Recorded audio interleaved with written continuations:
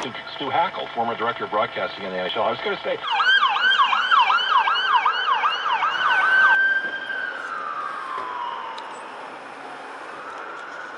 can too.